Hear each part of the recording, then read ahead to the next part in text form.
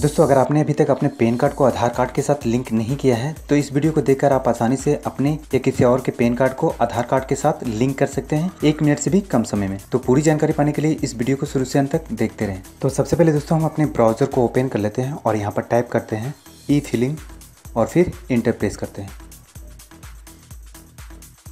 तो यहाँ पर दोस्तों, जो तीसरे नंबर में ऑप्शन है, लिंक आधार, इनकम टैक्स, हम इस लिंक को ओपन कर लेते हैं। तो जैसे कि दोस्तों आप देख सकते हैं income tax department e filing के वेबसाइट का पेज खुल चुका है। वैसे दोस्तों मैं इस वेबसाइट का लिंक अपने वीडियो के डिस्क्रिप्शन में दे दूँगा। आप उस लिंक पर क्लिक करके इस वेबसाइट पर आ सकते हैं। यहाँ पे दोस्तों मैं आपको बताना चाहूँगा कि आपके पैन कार्ड के डिटेल्स, अगर आधार कार्ड की डिटेल के साथ मैच नहीं करता है तो आप उसे लिंक नहीं कर पाएँगे। तो लिंक करने के पहले दोस्तों आप उसे अच्छी तरह से चेक कर लें। अगर दोस्तों आपके दोनों डिटेल्स मैच करते हो तो यहाँ पर आप अपने पैन कार्ड का नंबर इंटर करें। यहाँ पर आधार कार्ड के नंबर को। और यहाँ पर दोस्तों आप अपने नाम को इंटर करें।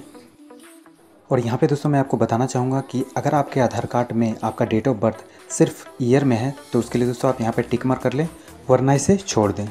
और यहाँ पे दोस्तों ऊपर में दिए हुए कैप्चे कोड को इंटर कर लें। इसके बाद लिंक आधार पर क्लिक कर दें।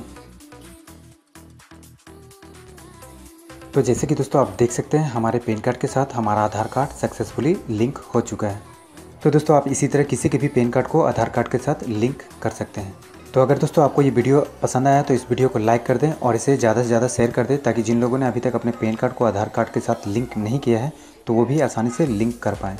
तो मिलते हैं दोस्तों फिर से एक नए वीडियो के साथ। तब तक के लिए गुड बाय दोस्तों। Thanks for watching.